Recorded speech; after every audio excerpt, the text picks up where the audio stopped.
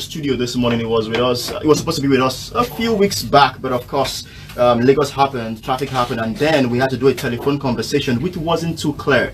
But today, based on popular demand, we have him live in the studio.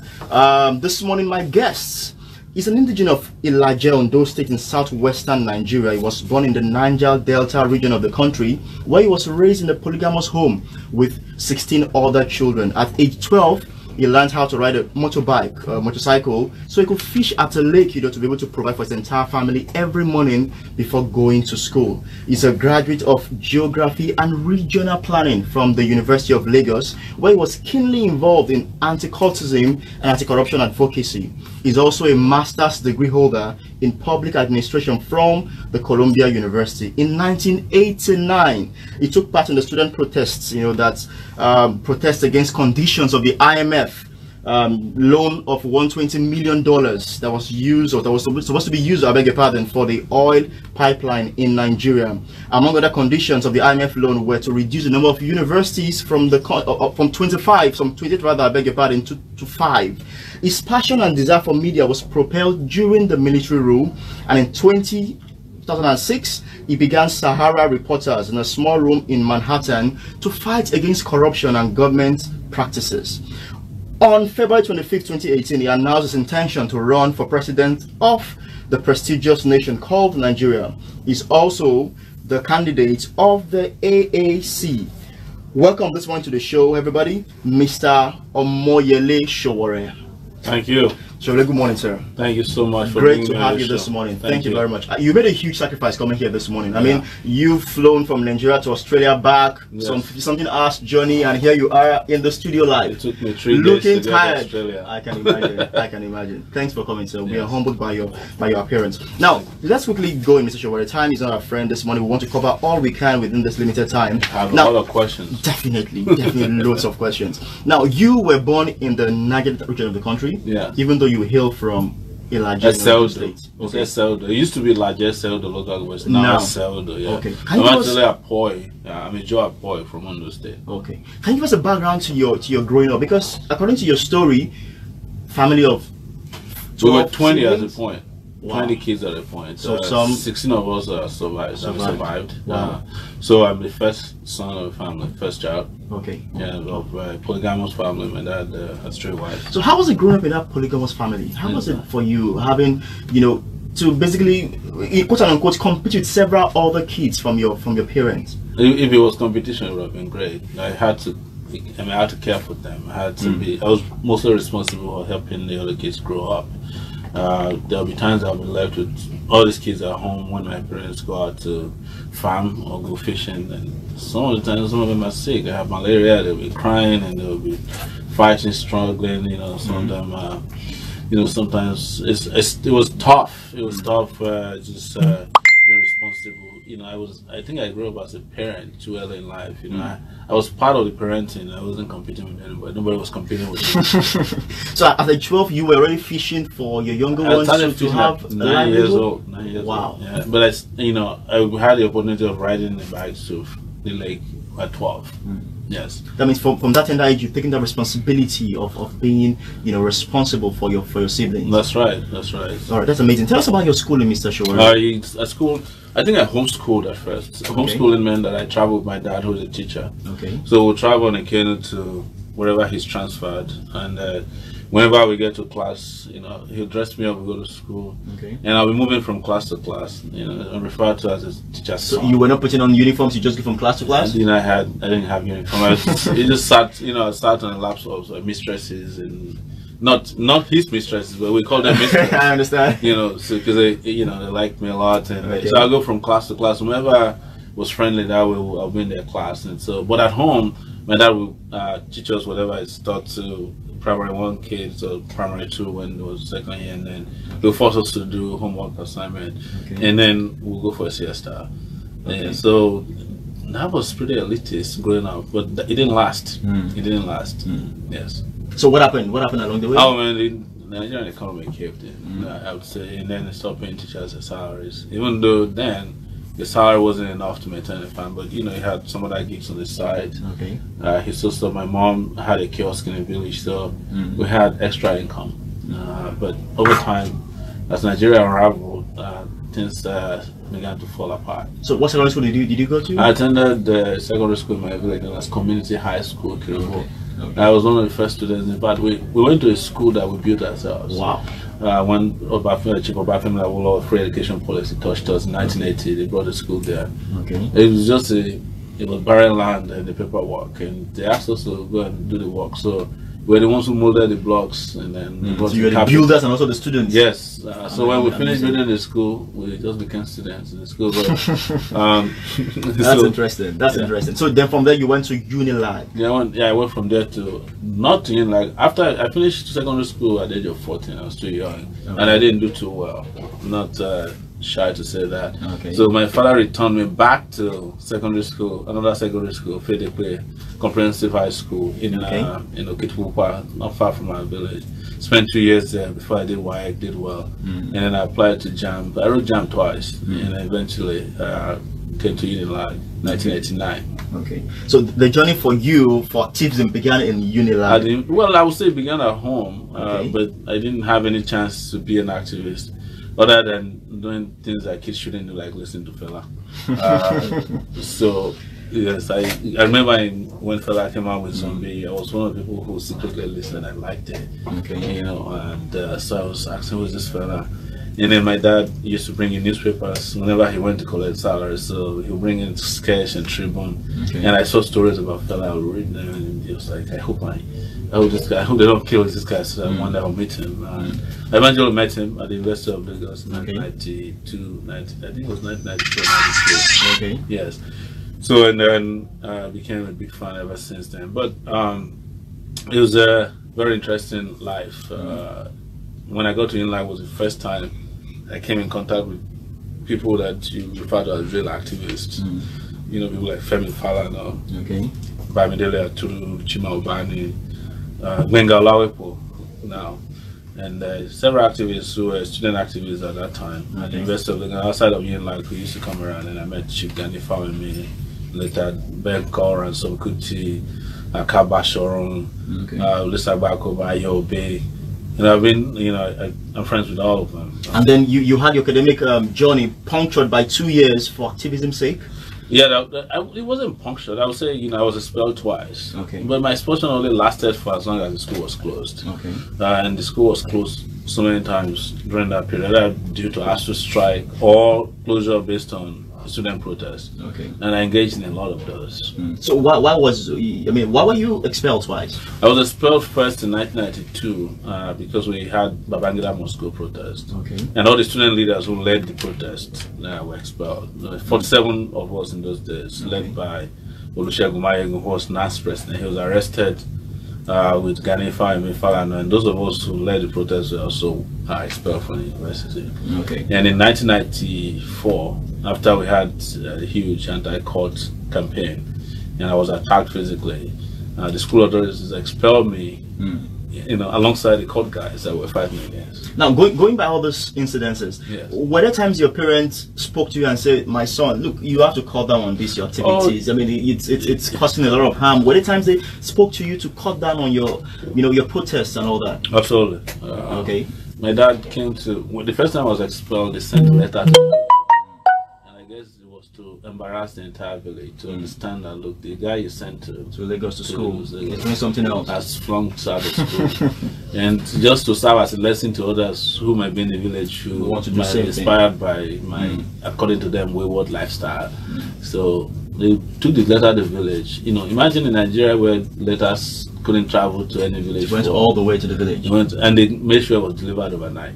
You know, I don't know how it got there. My father took the letter after reading it in the village meeting and the family meeting, and came to Lagos uh, to see my uncle and say, you know, threw the letter to my on my uncle's table. I was still at first like I knew I was expelled, but I didn't tell anybody. So I was just living like a normal person. So how did your father feel when he when he got that? that So with my my uncle's my uncle said to my dad, you know, it's impossible. I I stay in the same house with this guy. It's the nicest guy I in the world. School. As I had like a holiday gig at that time at Rank Xerox. So he said he goes to work and comes back. If you ask him to do anything, he'll do it. I, I don't this is a mistake. So Mm. my father followed me to Unilag. I was about to enter the elevator, he saw posters pasted everywhere. I was running for president of student union then, mm. and my my slogan was when it, when um, uh, when uh, sorry, I think it was like uh, when circumstances are difficult, you know, only the extraordinary stand. Something okay. Okay. You know, when circumstances are beyond the ordinary, only that. My father read it and said, "Here, Parry, are you the one who wrote this?" I said, "Yes, sir." He said, "This is the reason they expel you." But he still didn't believe it, so he took me upstairs to see the dean of my faculty. Okay. And the dean told him outright that, you know, that's your son. They're looking for him because he's planning to overthrow the government. So my dad ran out of the dean's office because I didn't enter the office with him. I knew that the dean could call the police on me. Mm. Then came out and said, "Look, I've just confirmed that you know they're not going to lift this expulsion. You have committed crime of the biggest proportion. They're trying to overthrow the government. It's like treason." So would you say those songs of Fela in those days actually had a large influence, you know, on your life? Oh, absolutely. I, I think so. I, you know, I already made up my mind about the military when I was 10 years old because um, my village was invaded by the police. Okay. And a lot of bad things happened that night. So the songs, I, I listened to them more, you know, because Fela's songs have two dimensions, I have to tell you. Mm.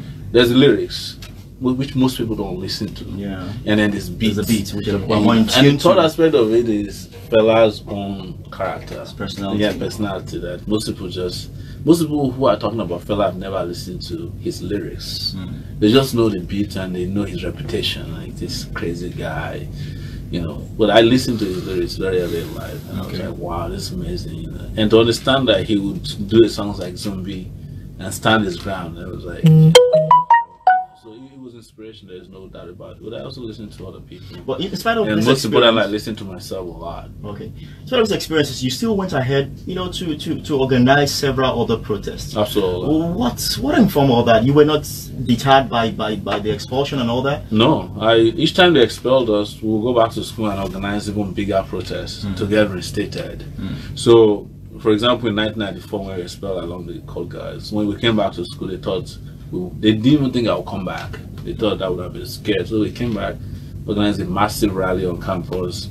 And that rally attracted, you know, the attention of the military authorities because in one of the rallies, we had a, an exam boycott okay. the next day after the school resumed, and I find, figured out how to enter the campus because they had signs all over the place that I was wanted, and there were like 500 policemen at the gate of the university. Mm. I got in.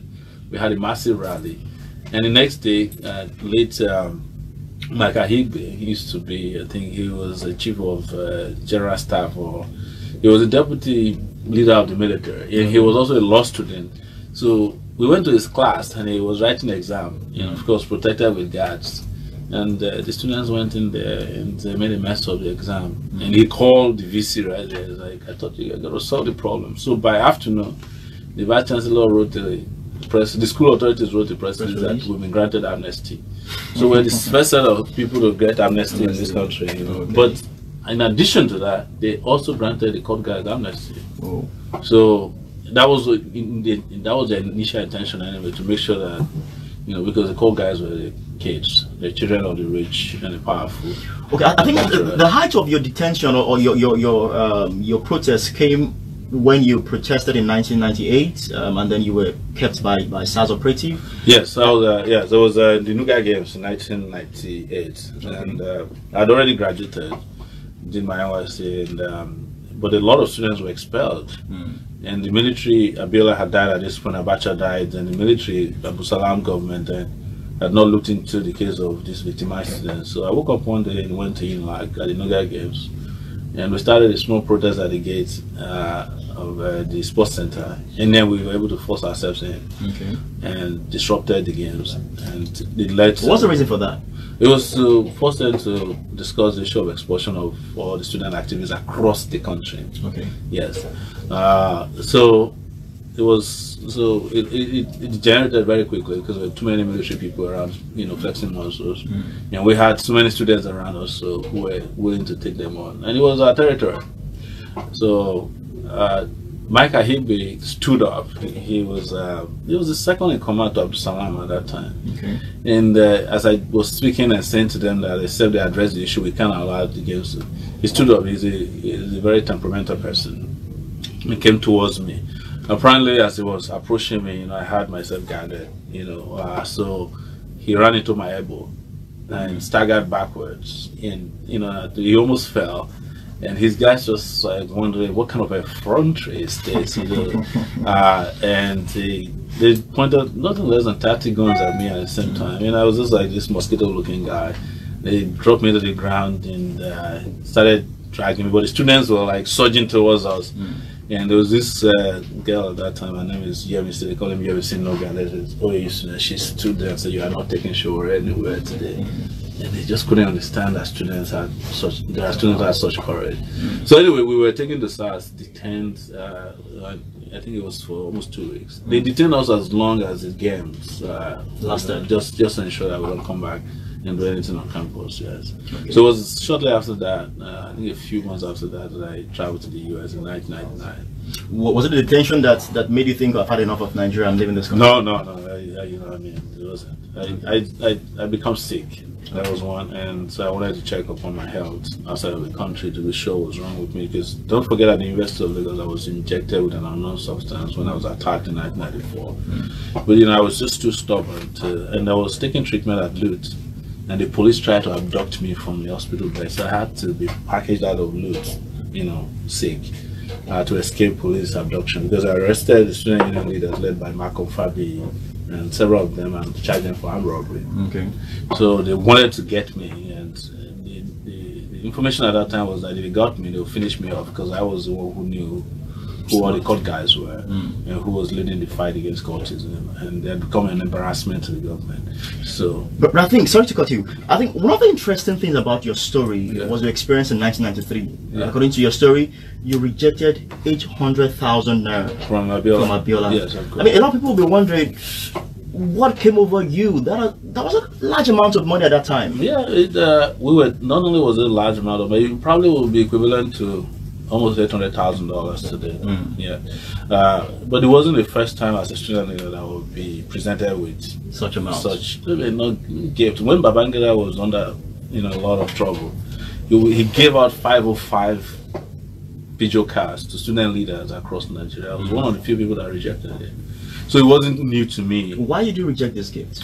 because I know that they were meant to compromise my integrity and uh, prevent me or shut my mouth off or put me in a compromised position so that I can stand up what stand up for what I believe. So So I also knew that it was Nigerian money stolen by these people that they're using to bribe people. Maybe in the case of Abiola it might be slightly different, you know, but you know our position on Abiola in general, even before the election, we were against Abiola and uh, the ruling elite. You know, we, everyone knew he was part of them. What brought what drew us to June 12 wasn't Abiola's integrity, it was a position that was based upon our desire to have democratic rule. And we thought, hey, you know, if we all, if you ask people to come and vote, whomever they, they you know, they elect, they have a right to be led by that person.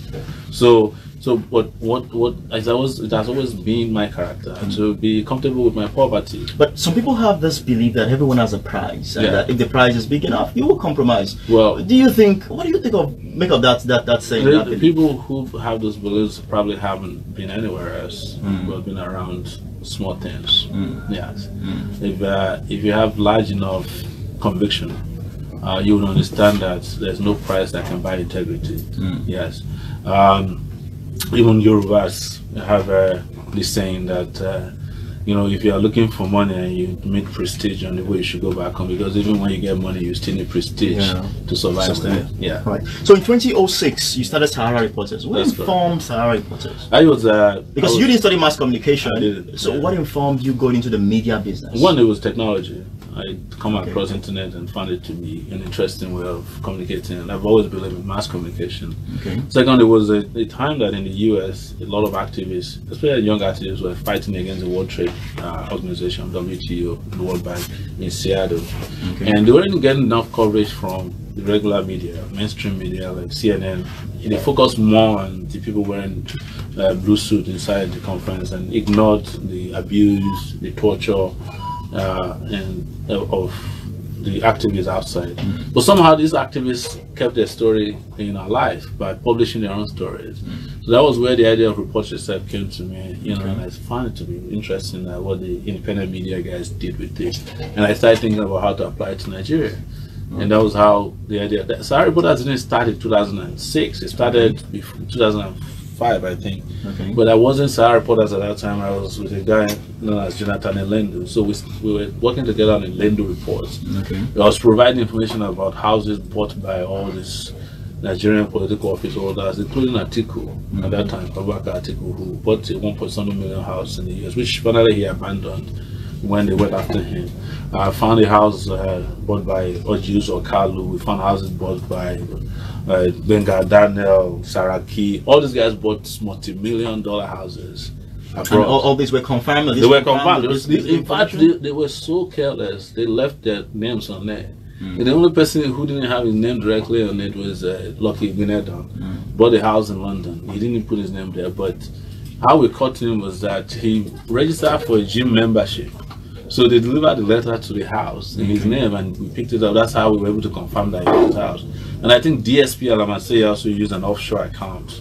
I think Babangida's son also had houses like that, but they have a way of shielding it, but it's easy to catch them. Know? But in those days, the impunity was much, and they didn't care. They bought it directly under their names, Okay. and you could find their names on it, their addresses, and, and things like that. We just have to know their address in London. In the US, it's public information. Mm. And then Hopefully. o- o- over the years, you've been able to build Sahara Reporters into a very reputable and respectable media organization. That's correct. Such that it's basically authoritative. Uh, people take news from Sahara Reporters hook, line, and sinker. That's right. How did you achieve that? How are you able to build such a reputation to to be a trusted media uh, me- me- media platform? I think a lot of people who who were in, when who were in Nigeria at that time when we started, and even now, Okay. we're always looking for reputable people to report issues to. And I also found out that Nigerian media were getting either they were self-censoring or they were using it to do business. So when people found out, you know, after we did a few stories, did a few breaking stories, and they saw the courageous way we were reporting, we became the place to go. And what we ask people is to report yourself to us. And but it's important that you provide evidence of the report. Yeah, If somebody is corrupt, we ask for bank account information, we ask for credit card information, and everybody became a reporter at that time. So if they found a Nigerian official checking into a hotel, people would send us the Pictures. pictures and the information that they're paying for it or how they're paying for it. There's some places where, you know, what they're even ordering for. You know, we we had such amazing information in those days, and uh, and we just kept publishing more and we kept getting credible information. And on occasions where we can't, we would dig on our own. And over the years, platform. over the years, you've made so many high-profile revelations. yes. Have there been any time where your life was endangered or threatened based on this this reportage? Oh, absolutely. I, I you know, I, I think every major story I did endangered my life somehow. Um, and uh, when they can't reach me directly, of course, they got me sued a few times. Uh, and then they still have, they, I still get sued even till now by pastors, politicians, anybody that is affected directly by these stories, or sometimes even indirectly. They hire third parties to uh, to sue me. So it's been like that. But you know what? I have always my life has always been threatened since I probably entered the University of Lagos in 1989, and that'll be 30 years by next year. You know, and whose life is safe here, anyways? So basically, very little is known about your family. Are you married? Do you have children? I have yes, I'm married. I've been married for 14 Are you years. deliberately shielding them from the media? in, in some ways, you know, I, I just feel like if I don't have their permission to share their information, I, I know people can be very vicious, uh, and you know, you have young kids, you want to shield them mentally and psychologically from this kind of vicious uh, people. I, you know, I have a wife who wants to be private. She she has a job. She doesn't rely on me to live her own life, and she. You know, we both, I I wouldn't say she requested, but we both agreed that she can be, she, that she's Nigerian too, but she wasn't born here Okay. but she grew up in Nigeria and attended school here. So I have two kids uh, that I know of. now you know. of. Yes. All right, let's leave that. So the high point of this of this show basically is to talk about the values that have shaped people into who they are. I mean, from your discussion, basically we've picked up integrity is key to you. What other values have shaped you into the person you are and the person you're becoming over the years? I, you know, it's difficult to say their values. I think most of the experiences, you know, experiences I've had, I just been thoroughly disappointed, you know, growing up in this country, knowing that every atrocity that was committed against myself, you know, colleagues that I had, experience that I saw on the streets, the education system, they were carefully planned and executed by an elite in this country. Mm. So each time that the education system is not working, it's because they wanted to privatize education. Each time they destroy public water pipelines or gas pipelines, mm. it's because it suits their own agenda. Each time they engage in oil bunkering or you know, uh, even outrightly engage in crime, it's because you know of their own selfishness. So these things are what shaped me. You know, I was shaped more by experiences than honestly values because when you talk about values, you're talking about you know things that people are built into. Maybe you know sometimes it could be religious, it could be family. But I would say that honestly, my father was a major influence on me. He never made me, you know, any one of us feel like we needed to be rich to be able to speak truth to power or you know to do what is right. So, uh, but you know, again, I think the most experiences. All right. On, on, on last time, Mr. you offered yourself that decision? I, I I decided to do that because I know that I can do a better job than all of these guys that I, have seen seven presidents come and go since uh, 1980. I would say 89 starting from Babangida to Shonekan, Abacha, to Abdulsalam, Obasanjo, after that Yar'Adua. There was even a time this this country was governed by a dead person for five months. I surely can better than that. Uh, and then after that, Jonathan and then Buhari. You got to look at all these guys' record and know that Ishore has been doing what is right for 30 years will do a better job. And you know, in addition to having exposure, having the capacity and the character, and integrity, which we have talked about today. Like definitely, you know, and stamina. All right, uh, I can definitely do a better job than any one of these guys. In the first presidential, that's when I was an aspirant, now a candidate, uh, to come out with. Uh, you know, manifestos talking about what to do about Nigeria, and everybody's trying to catch up now. All right, Mr. Sowore, thank you very much for coming on the show. Lagos, that's a wrap on the role model today. I'm sure you've picked some dose of motivation. Um, you can give life your best and of course, you can be the best you can be in every field and any field you indeed find yourself. Mr. Sowore, thanks for coming on the show this morning. Um, Lagos, that's a wrap on the show. Don't forget, you can follow us on social media at IMAF for Impact, and of course, at Value Lines on Twitter and on Instagram. Till I come your way again next week, do have a wonderful, wonderful day. God bless you. Nigeria they use computer. The leaders of Nigeria they use radio where they turn the knob.